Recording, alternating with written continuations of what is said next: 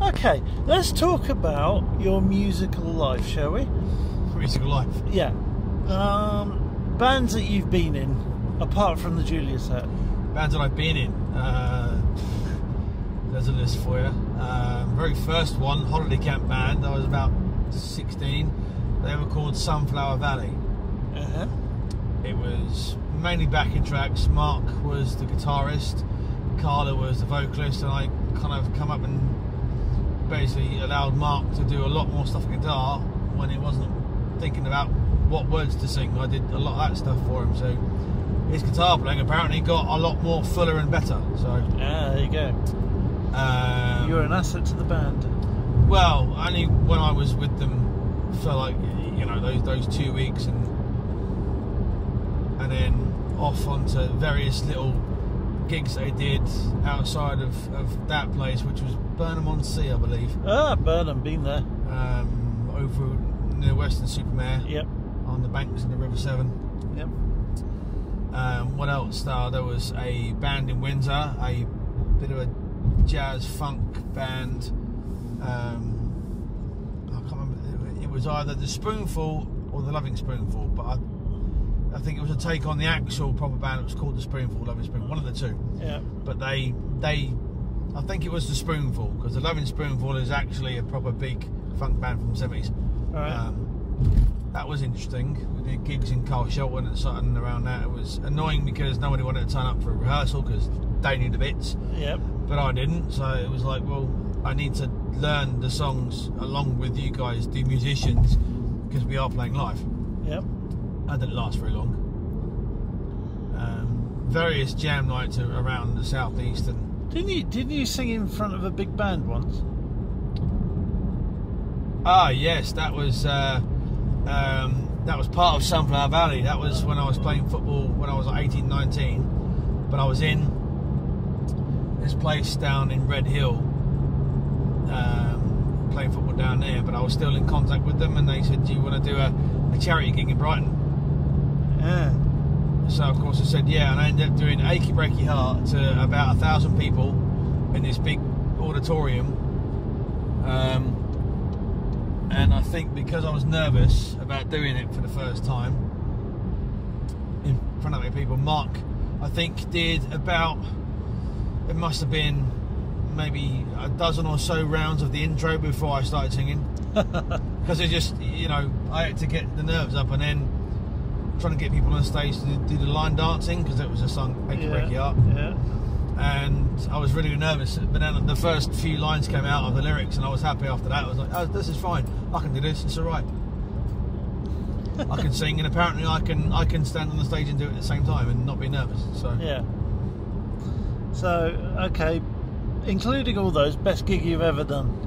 Well, don't forget there's obviously one from- from Swindon that I oh, told you that's about, right. Yeah, well, that uh, was called uh, um, the Unforeseen. unforeseen. Yes. and I've still got the um, the illuminated kind of acrylic perspex light up plug-in sign that that he ordered off off the internet. the unforeseen. His name was Brendan Hicks, but he went by Brendan Hayes.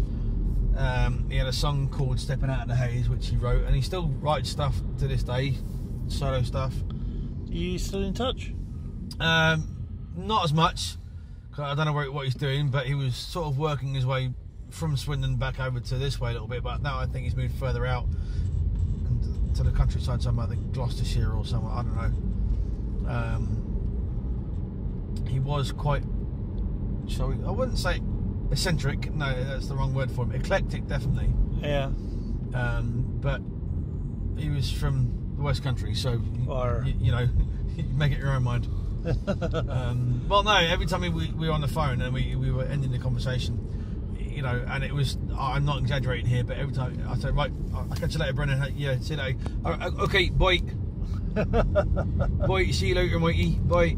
That was, that was his accent. So, he could sing pretty well, but not as good as people that he got to sing for him. All right. Best Um, be- best gig then. Is that is, is that it for the bands? Uh, there's probably a lot more resident bands on holiday camps and stuff. Um, Oh, you you sung for for Daft and people like that as well. Yeah, cameos and stuff for Daft when Graham couldn't be bothered to. Well, not couldn't be bothered. He drags you up. He just likes to get people involved and stuff. He, he's a good showman in that respect, and Yeah. there's a reason why it's now his full-time job to book bands and stuff. And he's a basically a promoter.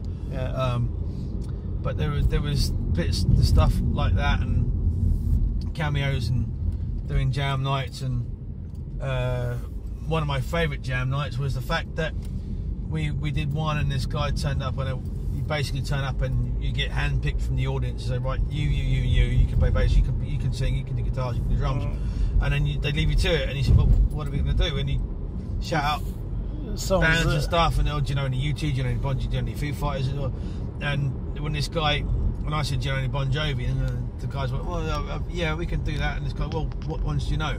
So, well, the short list will be, what ones do I not know? Um, and then he starts playing some of the uh, tracks that they recorded acoustically, the band, Mm.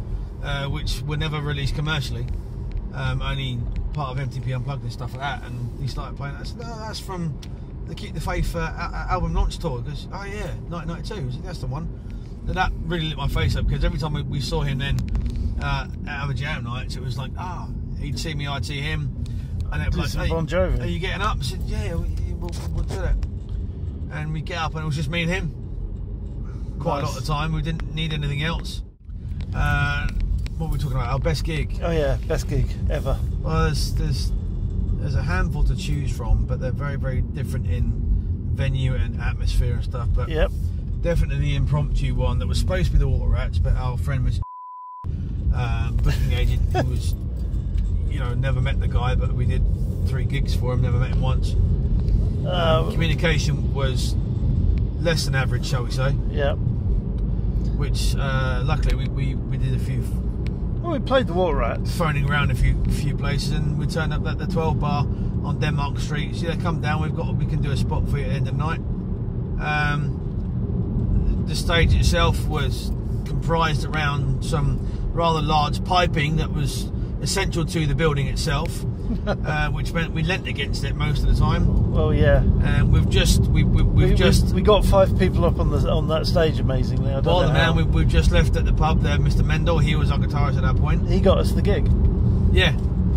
So that was was good. I also enjoyed our second stint at the Maidenhead Festival, but once Yeah. again, um, Mother rained. Nature and and and uh, uh, Circumstance.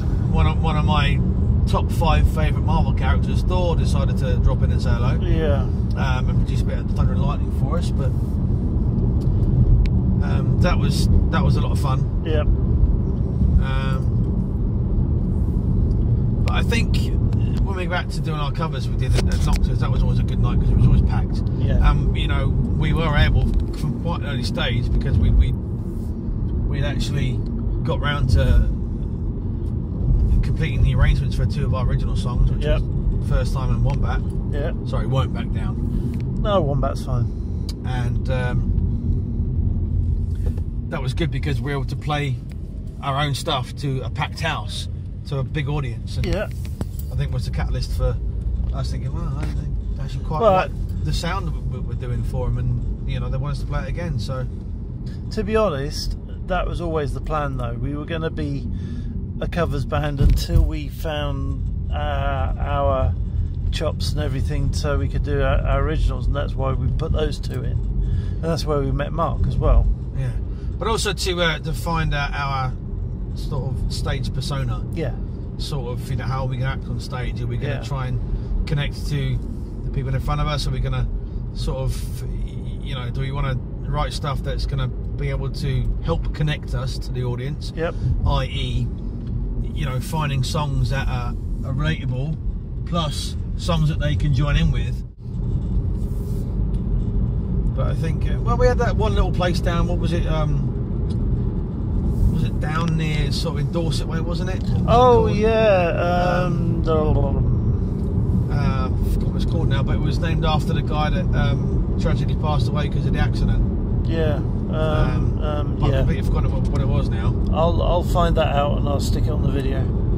Um, Well, and the ill-fated one at Gosfest. My God, that was a I have never seen rain like it.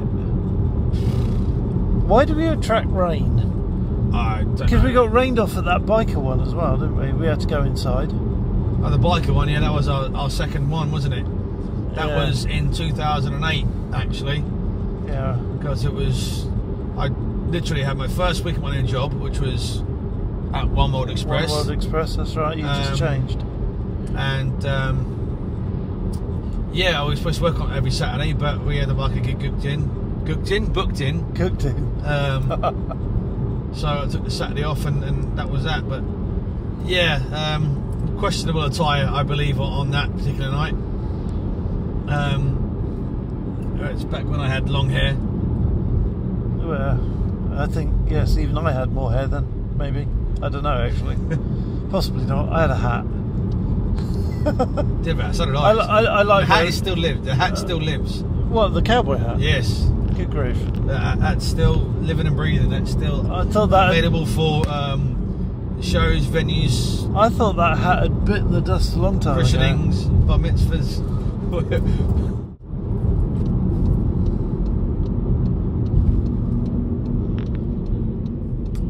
What do you think the Julia Set is about? What what what what what what are we? I don't know if I can answer that in any, in any great sort of I, I did I wasn't expecting resonance. I think. Um, what sort of band are we? Do you think? Well, I think what we aspire to be, or what I definitely aspire to be, is to be able to have people communicate with us and, and, and, and, and say, I love what you did with that song. You know, there's, there's a lot of relatable stuff in that song, and, and I, I feel like I'm part of it. And for them to say, look, you know, the whole thing of, you know, music is, for all it intents and purposes, and for all its It's ins and outs and its communication. Good stuff and bad stuff about, about music. You know, it is for what it is. It's a world language. You Yes. know, nobody can sort of you know misunderstand a song. Well, Hmm. I suppose you could, i- i- unless you go to the actual person who wrote it and say, "What's that about?" Um, Yeah, but I all, suppose. all in all, you know, sometimes you don't need to know what the words are, what the song's about. If you like the sound of it and, and like the rhythm and like the arrangement and the way it's put together. okay, your favourite song is First Time, I guess. Um, is it? Favourite I song think to, I, to I float perform? between a few different ones. Depends on how I feel. Um, depends on if I'm feeling in a vocally sort of mood. You know, I have these things where I just don't sing at all, at all for the whole day. Yeah. So, um, and it depends as well if I listen to any of the tracks in one day. Sometimes I'll go a few days with it without listening to um, any of the tracks. Yeah, don't do that too often. We need the Spotify results. Well, no, because it no, it, it, it recognises um, Oh, does it? Oh, well. it's come, what sources come from. So, um, well, I, I guess if we're looking at the songs that we've done and we've written, yeah, I mean, first time is, is a great track to to perform live. Oh, it's a brilliant It's live a lot of energy. Um, there's a lot of space in and around the song to sort of get involved and interact with each other on stage as well. Yeah. Um, but then vocally, I think Finding Out is probably one of the better vocal songs we got because it challenges my vocal cords. It enables me to add a bit of power to it. Yeah. Whereas a lot of songs, there's it's more to do with breathing and timing and getting the sound right rather than injecting a bit of a bit of power vocals in there. Yeah. Yeah. Any songs you hated singing? Not overly. I mean, we had. I can't say any of them. I, I Well, hated singing. To, to, to be honest, you're kind of in charge of how the vocals went anyway, yeah, so. you know, because I, I kind of drove where they went Yeah. because I'm singing it. So, you know, I, I find a, a, a place where the vocals will fit, and also a way of singing it where it's easy for me to sing it. I mean, I've got to challenge myself, so that's where I lay down the, the basic melody yeah. with a little bit of room, not so much room underneath, but a bit more room on top. So if, if I wanted to go and and blast out a, a longer note or hold a note somewhere or Yeah. take it up an octave to, you know add a bit of layer to the vocal, then I can do. So I enjoy, I enjoy do that. So it's, Yeah. it's I want to be able to challenge what I'm doing as as well as be a bit different and add something different that no one's well not going to do anything that no one's ever heard before because you know it's like trying to reinvent the wheel. Yeah. You know, the best you can do these days is the whole fusion thing. Well, Um, yeah, you get it with food, and why not get it with, with music? You do.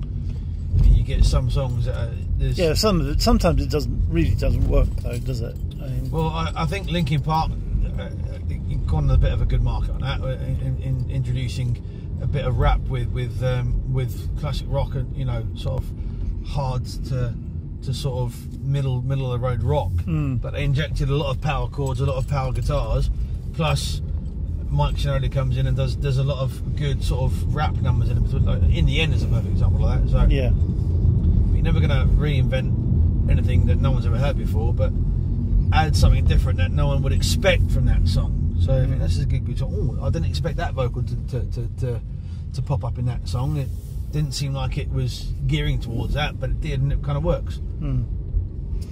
Okie doke. Well, that's cool. Uh, we'll wrap this bit up and we'll do some more another time. Yes. So- Driving sessions, which you're calling it. Well, yeah.